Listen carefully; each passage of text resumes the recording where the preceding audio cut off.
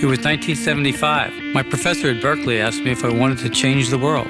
I said, sure. Well, let's grow some algae. And that's what started it.